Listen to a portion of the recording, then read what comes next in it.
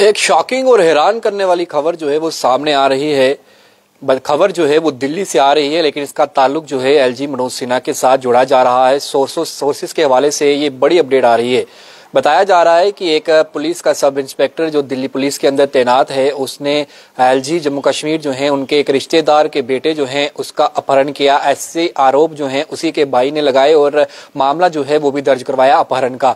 जिसके बाद कार्रवाई भी की गई है। सब इंस्पेक्टर की बात करें, उसे निलंबित कर दिया गया है और जो थाना प्रभारी है, उसे भी जो है, लाइन हाजिर कर जो है, जवाब मांगा गया है और मामले की गंभीरता को देखते हुए इस मामले पर कार्रवाई भी की गई है।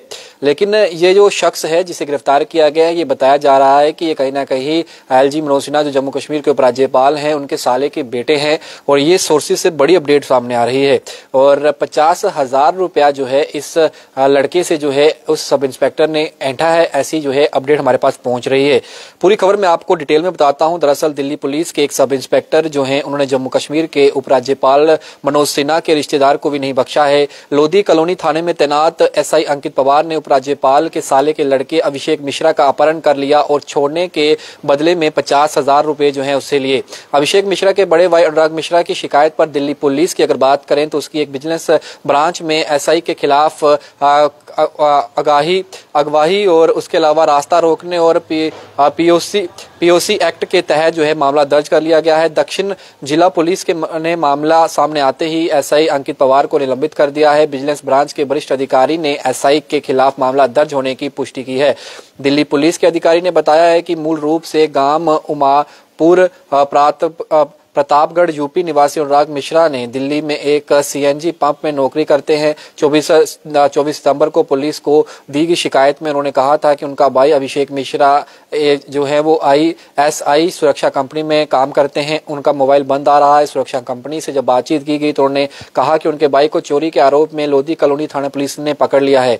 वह एस आई अंकित पवार की कस्टडी में है। वह वकील अनिल कुमार पांडे के साथ लोधी कॉलोनी थाने पहुँचा। जब वह थाने पहुँचा तो एक पुलिसकर्मी उसके बाइक को मेडिकल जाँच जाँच के लिए ले जा रहे थे। उन्होंने अपने बाई से मिलने नहीं दिया गया। वकील अनिल कुमार पांडे ने अपने साथी वकील गौरव चौधरी को बुला लिया। जब वह लोधी कॉलोनी थाने के बाहर थे, तभी एक व्यक्ति जिसने कमांडो कैप पहनी हुई थी, कहा कि ये जाँच अधिकारी एसआई अंकित पवार, उसके भाई अभिषेक मिश्रा को छोड़ देंगे। और इसकी एवज में उन्होंने एसआई को पचास हज़ार देने होंगे। अनुराग मिश्रा ने गुहार लगाई कि वह इतना पैसा कहाँ से लेकर आएगा। बात नहीं बनने पर उन्होंने उन्होंने गुजरात में रहने वाले बहनोई से पैसे पैसों का इंतज़ाम करने को कहा। इसके बाद जैसे तैसे पैसों का इंतज़ाम कर ऐसे अंकित को दोनों वकीलों के माध्यम से दिए गए। इसके बाद इनके भाई को छोड़ दिया गया।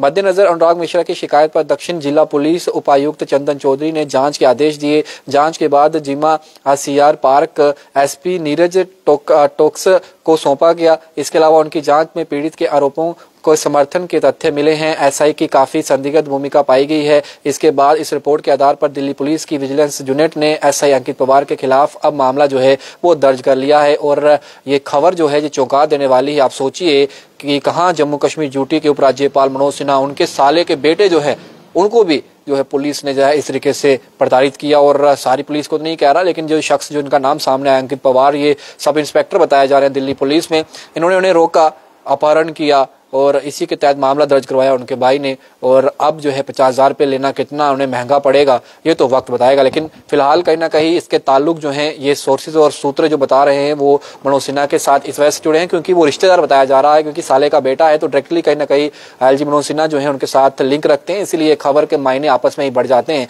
इसलिए इस खबर को मैंने आपके समक्ष रखा, क्योंकि जम्मू कश्मीर इस खबर के साथ ऑटोमेटिकली जुड़ जाता है।